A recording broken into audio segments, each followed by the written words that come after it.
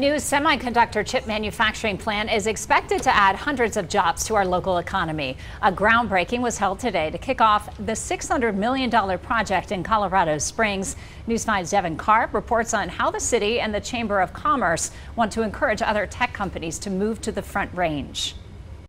A major player in the semiconductor chip manufacturing industry building an 88 acre site right behind me as the city and county works to get new high paying jobs to our area.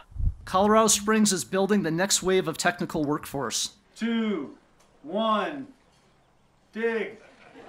Entegris, a manufacturing company based in Massachusetts, is bringing 600 new jobs to Colorado Springs with an average salary of $75,000 a year. The company Entegris today is about $3.5 billion in revenue.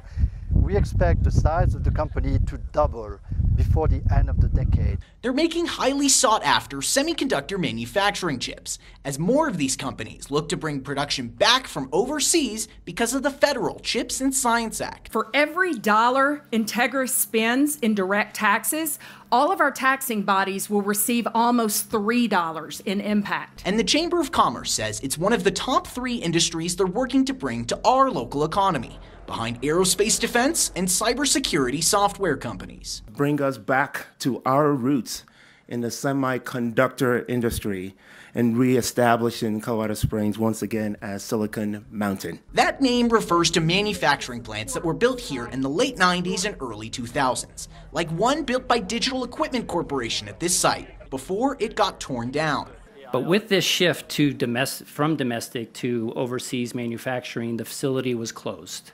And that really hurt Colorado Springs. So today marks a day when we are able to say we are back in high tech in a major way.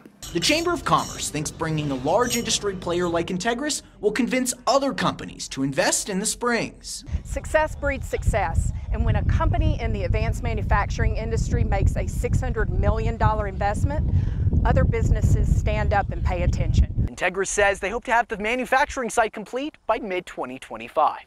Reporting in the Springs, I'm Devan Karp, News 5.